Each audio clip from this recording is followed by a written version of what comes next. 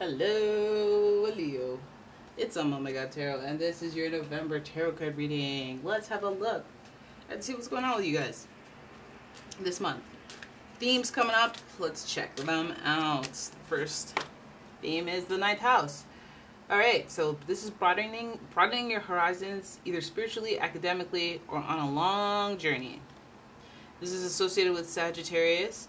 You know, you know they're they're wise out here. They're trying things, they're learning things because they want to uncover the hidden mysteries of life and through firsthand experience. So you already know what time it is when it comes to that Sagittarius energy. The wisdom, they have it. The actual adventure energy, they have it. And so it, may, it might be quite the adventurous and knowledgeable month. Then we got the seventh house. You're going on an adventure, but you might be falling in love. But you might be meeting that person, that right person, for that that missing piece, so you can start that business. So, you know, it could be any type of partner.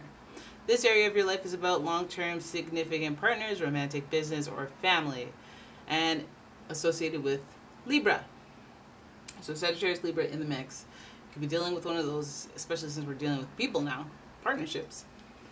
And finally, we've got the 10th. Listen, you're thriving out here.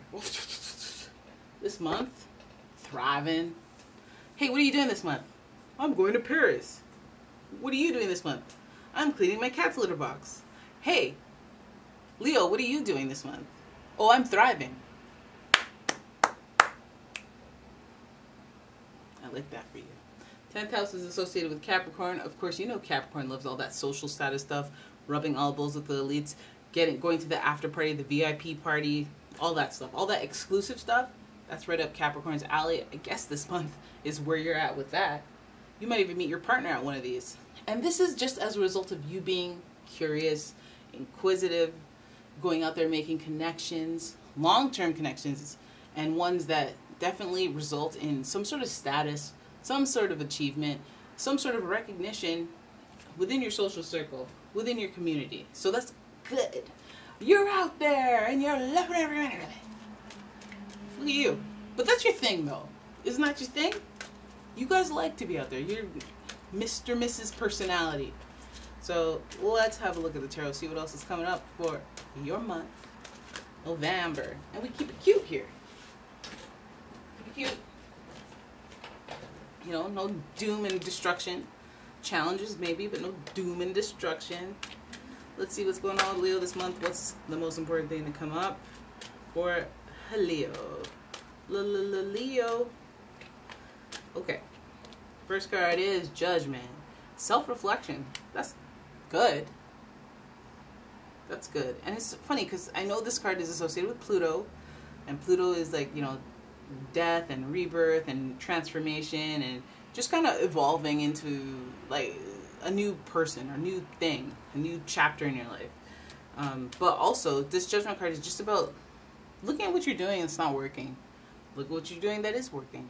Pat yourself on the back for what is working, and be like, let's read, let's read, let's reallocate resources on what's not working. Let's cut it, and let's try something else. Let's pivot. So that judgment card coming up first is very interesting. And then your next card is the Three of Pentacles. We see collaboration. So a lot of you doing self-reflection about people at work, your coworkers, people around you that help you earn your money, um, anybody that you work with. If you like your situation, you're loving collaboration and maybe even want more of it. Judgment. Then we've got the High Priestess in reverse. This is ooh, your major arcana in the middle. You got a major arcana, second one for the reading. And the High Priestess is very psychic, very knowledgeable because they. This, I feel like the High Priestess is like that Akashic, Akashic records personified. Um, speaks to just your intuition, your inner knowing, all that psychic energy, but like also blueprints of life, things that are predetermined, destiny, and associated with Cancer.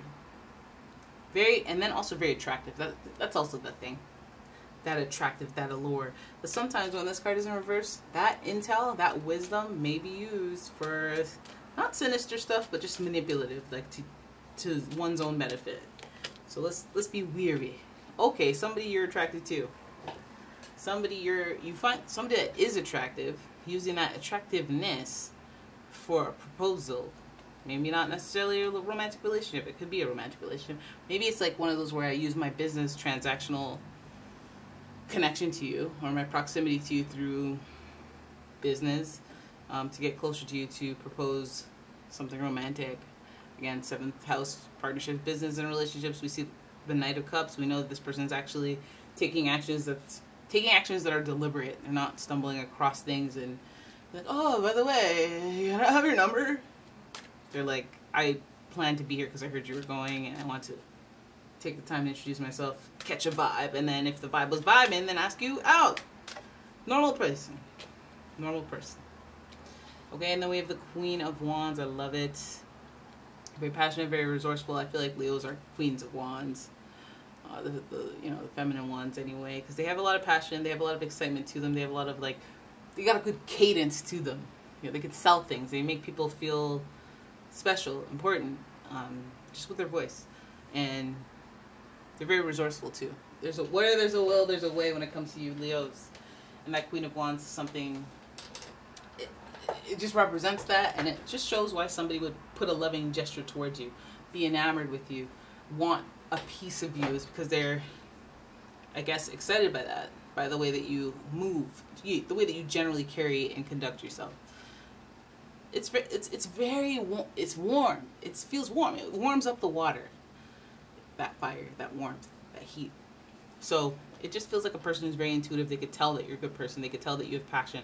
They could tell there's something about you. There's something in your energy that makes them feel excited, or they at least acknowledge the excitement within you, and, and they it makes them feel it, it fills their cup, makes them want to do stuff for you, makes them want to connect with you, makes them want to be in your world. So look at you, you know, with that tenth house, you already knew you had that in you. You already know that you have a mag, uh, personal magnetism and a dynamic personality. People that you may not even like might like you, and you know that's just the way you are. You just people. You're like a you're like a light. You're like a campfire, and everybody else. We're all moths. We just want a piece of that. We just want to. Wait, wait. We don't have to like burn one up for that, but you know what I mean. So you guys are very wise about yourselves. Well, you you should be. You know yourselves to some degree, I think, because you're, you're the sun. You have a pretty strong command on that sense of self, um, more than a lot of other signs. So um, you do things for the thrill, thrill for the excitement, uh, for the the what is it called? The good, not good juju. I don't know. Good, good, good. The invigoration. No, that's not the word. But yeah, it's looking good. It's looking like a good month. Collaboration. I guess somebody at work might have a crush on you. They might find you attractive, but they might feel like it's the wrong place, wrong time, or you know they but they want to make a gesture. Somebody out there wants to make some sort of gesture to connect with you because they see you doing you and they love it. There is this whole judgment thing. I think there's some layer to it that is like, well, is this really right? Is this really wrong? Should we be doing this? Should we not? I don't know. Maybe there's more I need to know. I'm worried about my status. I'm worried about how it looks. I'm worried about the optics. There's just levels to, I guess, what this connection is. This person could be a Sagittarius, a Libra, or a Capricorn. They could also be a Scorpio or a Cancer. So this person has a little bit of emotional energy to them. So they might be like, well, my heart is telling me yes. But my practical side is telling me, uh, maybe, maybe I shouldn't do that. But I think that this person, like, again, they recognize something in you, a fire. They recognize an allure of some sort, something mysterious that you know more than, etc you know they but they feel some sort of attraction towards you. And i think that you might know that or if you're attracted to them and it's like the reverse they might know that they are attractive. And they know you, they're kind of picking up on the hints. They're, they're picking up what you're putting down. You know they know. Um, but there is a proposal in here. There is some sort of offering of love and connection um, some kindness some loving.